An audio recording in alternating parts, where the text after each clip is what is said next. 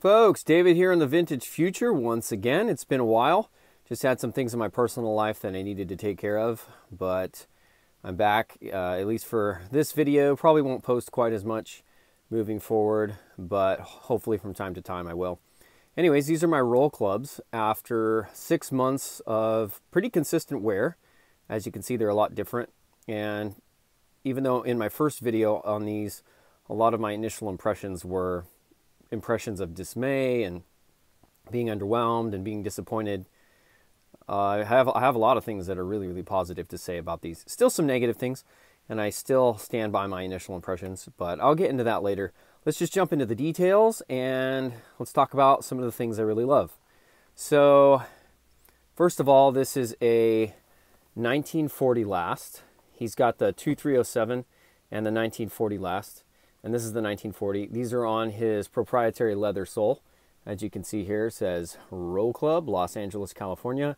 I also live in California, so I think that's really cool. Not just made in America, but also made in my state. He put on these metal toe taps, and then it's got his proprietary top lift here that says Role Club. I think it's great, and those are wearing in pretty good obviously I have some heel drag, but after six months of a lot of wear on something that has a really high heel, because I find that the higher the heel, the more you tend to drag your heel.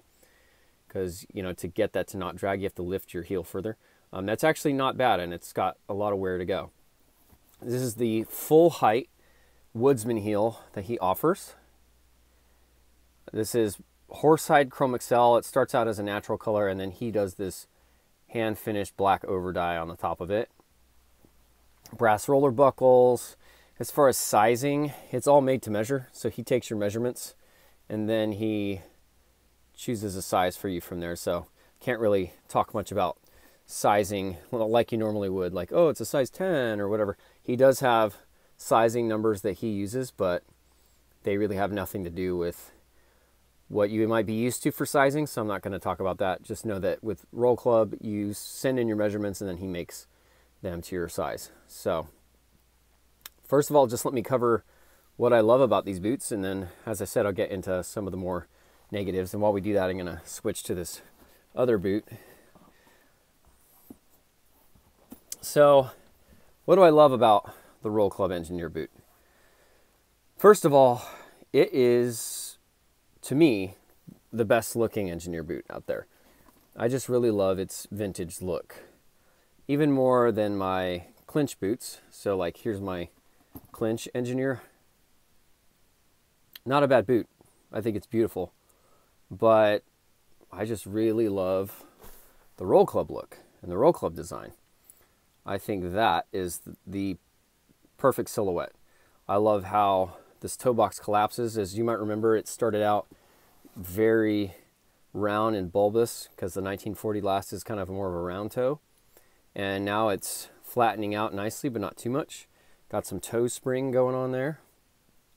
Very cool. I love the way that these shafts kind of bend and crease and fold. Great look.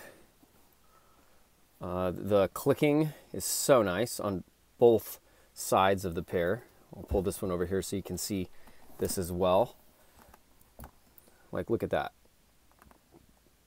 incredible clicking, especially for something like Chrome Excel.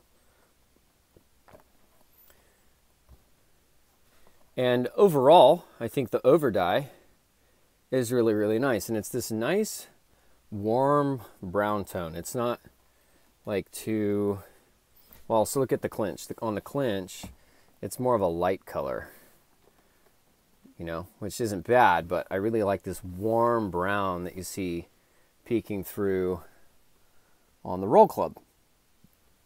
Just very, very appealing. And the way that this strap over time has gotten all floppy and dangly, I think that's really, really cool.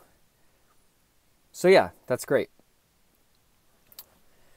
And I think the shape of this last is really nice on the top down.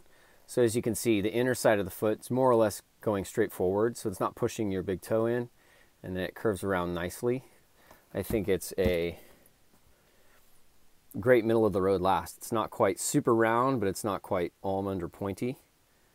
I think from all angles, it's just a really nice shape, really nice silhouette, fits the foot really well.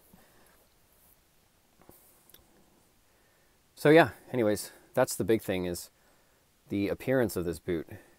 I think is second to none for my personal taste.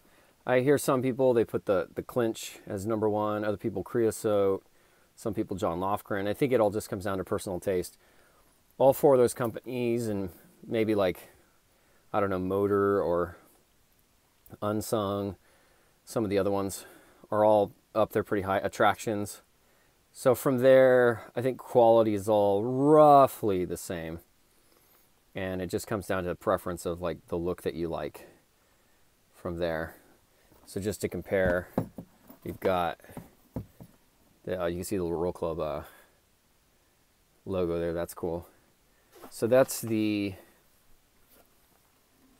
Role Club.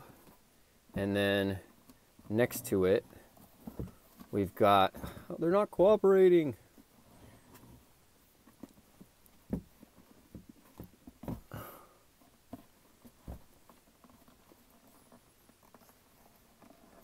Next to it, we've got the clinch. So clinch on the left, Role Club on the right. Roughly similar in shape, but not quite, right? So, and it's a size 10 US clinch, by the way, in Maryam Horsebutt, whereas this Role Club is in Chrome Excel. So those are some of the things I really love about these boots. Uh, what do I not care for so much? I do think the teacore thing is a little hyped. Like it's it's like look at this. This is from my pant leg rubbing. It's very streaky, almost looks like a paintbrush. A little too theatrical, a little over the top for me. This is only six months of wear too. I don't know if it was just this batch, but I don't really like it. It doesn't look quite natural to me. It looks a little forced, a little artificial. Overall, I love the look. And this does look natural. This is from my other boot scuffing into it. Clearly I walk a bit sloppy. The edge dressing on the side here is starting to wear away, which looks really good and natural. Same with the side of this edge dressing. So that's all cool and stuff. But yeah, some of these spots, it just looks kind of fake, you know, almost like this formula is trying a little too hard. This other boot is not quite the same looks a little more natural, I think. But still, in some ways, it's like, man, that's really over the top. this is only six months of wear. I don't like that. That's not like, yeah, I don't know. That's not quite the the vintage look that I signed up for. And if you if you just think about this for a second, you'll realize, man, uh, a year, two, three, four down the road, this boot will be predominantly brown. So I don't know. I don't think it's horrible, but you just should know that going into it. Um, the other thing is, as far as fit, initially they fit perfect, but maybe a little too perfect because once this instep stretched out and it wasn't holding my foot back into the boot, then my foot began to slide forward and then my big toe began to bump into the front here a bit. So, not the end of the world. All I had to do was get some of these Pedag insoles this is a Pedag Holiday. And now that problem is mostly solved. But on a made-to-measure boot, I would much prefer to not have that problem, you know? Um, another thing is, because my instep is so low, it's funny, uh, these straps, when I tighten them all the way before my low instep, they end up being super long, you know? I don't really care. But if you're the kind of person that doesn't like long straps, you might not like that. I kind of like the whole floppy strap look. And then see this here. Chrome Excel might not be the greatest engineer boot leather for people who really need to use the strap. For most people, it's for looks. Like if you have a high instep, that's not really going to hold your foot in, so you just kind of strap it just so it's not dangling. But for me, I actually use it a little bit. And as you can see, this Chrome Excel is just so soft, it's, it's slowly tearing. And I don't know that that's a good thing. Granted, easy to replace down the road if you had to. I think I'm not a bootmaker, but I, would imagine. But yeah, that's just some some detail there. Uh, but yeah, if you look at the patina on this thing, it's great. I mean, the collar there, even though this is a little bit streaky on the shaft, I still really like it. Again, that warm brown tone coming from the bottom, that is great. I'm, I'm sure that's by design, so that's like genius. Very good artistic design there on the part of Brian the Bootmaker, especially on the heels. I really love that brown as it comes through. But yeah, these boots are six months old. I wear my boots a little hard, but still, they're six months old and they, it, they look like they're a few years old already. And, you know, a lot of the criticisms I had up front, I'll have to say they don't really matter, you know? So, like, even though by principle you should really make sure the screws are seated well, and some of them were not seated well on this toe plate when I first got these boots, clearly it doesn't matter in the long run. They all wear down. So, who cares, right? And then I had talked about on the back, there was a little bit of crooked stitching, but now that these boots are all kind of gnarly and worn, again, you really don't notice it. Same with the, the carving, the trimming of the top of this heel back here. I was a little critical of that. I still think my perceptions at the beginning were well founded. You know, at a boot of this caliber, you really shouldn't be seeing those kinds of things. But it does go to show that after some wear, these things don't matter quite as much. So, yeah, um, I just wanted to give you guys a realistic perspective. So I'll stand by the negative things I said at the beginning when I first got these boots. On the other hand, I think the idea is less to dissuade you from getting Role Club and more to set your expectations realistically. Like, what can you expect from Role Club? You can expect a fantastic guy with a great attitude who has an amazing design. This is the only one quite like it in the world, you know, so that goes for something. But, you know, as a one man shop, he can only use so much, so you're not going to have this fantastic wait on you hand and foot customer service experience. That's just the way the cookie crumbles. It's not his fault per se, it's just that's how it is for small shops. It's probably really hard to do business. Um, worldwide business when you're just a one small man shop. And inevitably, some pairs are going to be really perfect, essentially, and other pairs are going to leave something to be desired. And mine was one of the pairs that left a little bit to be desired, but overall, I'm still really happy and I wear these all the time. I would just say if you don't like your toes touching the front it seems like he does size on the smaller side. I, I would explain to him up front in the notes on your order, hey, I really don't want my toes to touch. So could you please add some length in the front for me? Because once these things stretch out, I really do not want my toes touching the front.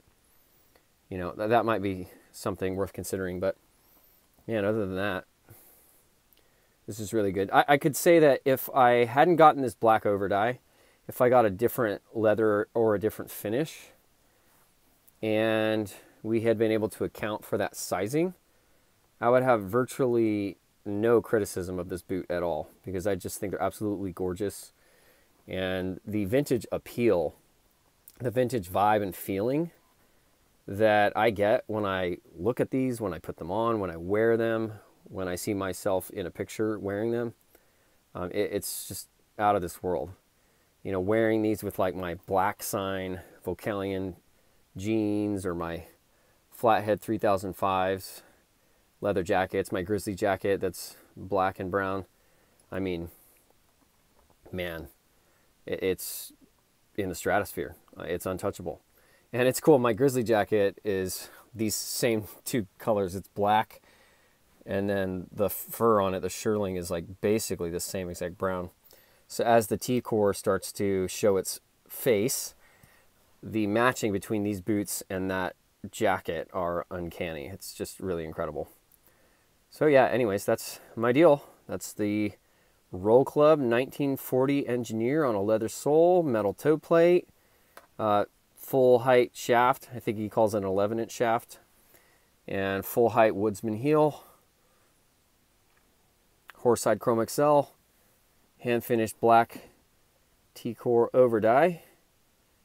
And away we go. I, I, expect these things to run strong for years to come. And overall, I'm very, very happy with them. So that's the deal. Thank you, Brian the Bootmaker. All the best to you.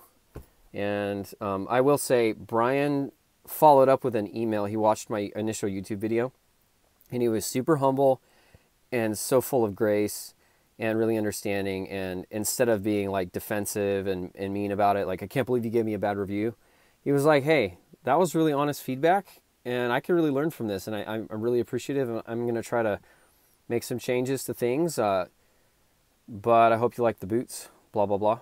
So, just so you know, um, he really is the genuine person that you see publicly online, like on YouTube and stuff. Um, and yeah, he didn't want to start a war or something like that. Instead, he was just a really amazing person about it. And so I think if he just continues to be a great person like that, it's going to continue to show in his product the way it has for the last several years. And things are going to get better and better and better because at the end of the day, it's not about having this technically perfect product, right? It's about having a genuine product, I'll say, an authentic product uh, that is a work of art where the the thing becomes better than the sum of its parts. And I think you can honestly say that he's achieved that with this boot.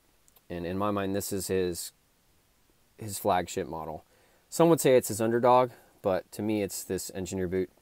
If I could choose one engineer boot, despite any of my initial feelings of dismay and disappointment, I would choose this boot. Like if I could only have one engineer boot, I think it really would be this boot. Just know what you're getting into, though.